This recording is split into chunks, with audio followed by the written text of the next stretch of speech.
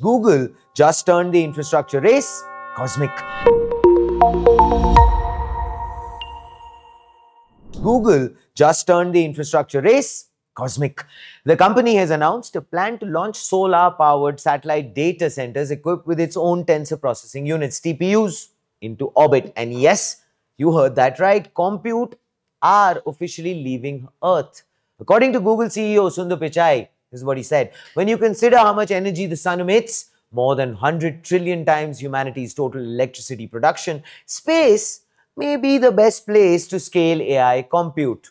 Wonderful. The sun is definitely shining.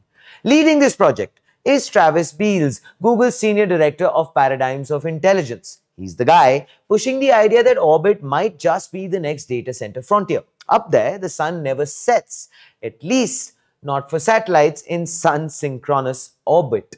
A solar panel in space can generate up to 8 times more power than on Earth with no cooling problems and almost constant supply energy. That means, in theory, Google could actually run massive AI workloads 24 7 without the heat and energy bottlenecks that ground based data centers face. The plan is to launch modular satellite constellations, each acting like a mini compute pod, which means solar powered connected through optical laser links pushing up to 10 terabytes per second. Wow.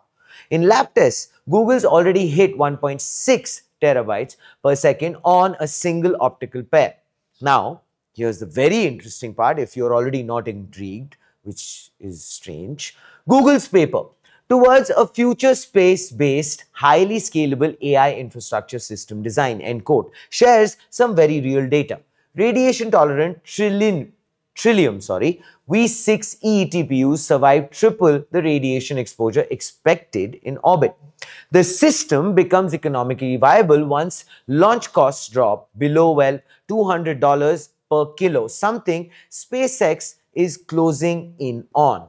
So basically by early 2027, Google plans to partner with Planet Labs to launch two prototype satellites that will test TPU resilience and AI learning in space. Travis Beals puts it very bluntly.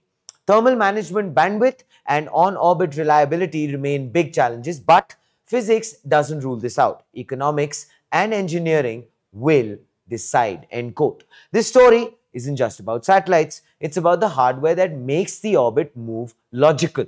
TPU V7, codenamed Ironwood, is designed specifically for large-scale inference and AI workloads. Each chip supports 192 gigabytes of high bandwidth memory, HBM, about six times the previous generation.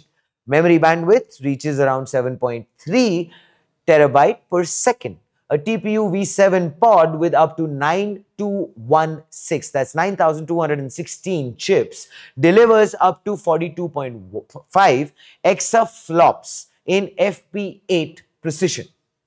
Google claims roughly double the performance per watt compared to the prior generation. Why does this matter? Well, I'll tell you why.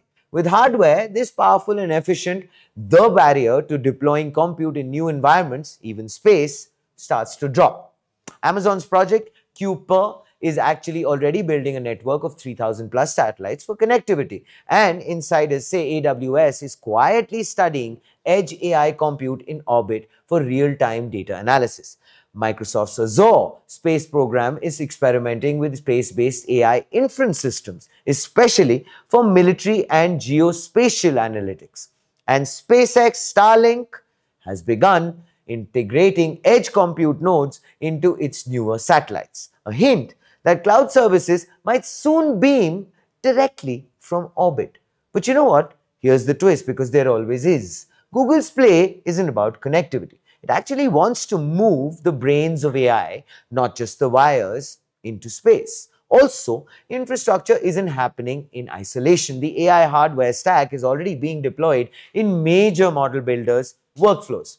And we have, of course, covered this extensively on front page. Anthropic will deploy up to 1 million TPUs from Google and ramp up to cover 1 gigawatt of compute capacity by 2026 under the newly expanded partnership. The deal is valued in the tens of billions of dollars and underscores that Google's hardware is competing directly with Nvidia and AMD for large-scale AI compute.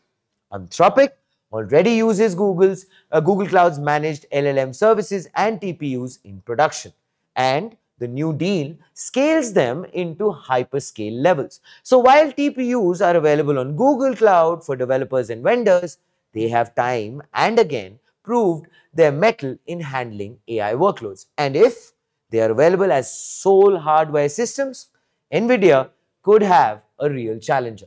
So basically, this isn't about incremental upgrades as you've understood. With TPU v7 and the Anthropic Google deal, we are looking at compute as a strategic asset. Location, scale and hardware all matter. And now, with the idea of orbiting satellite data centers, Google is asking, where is compute going next? The message is clear and here it is. The frontier of AI isn't just what we build, but where we build it.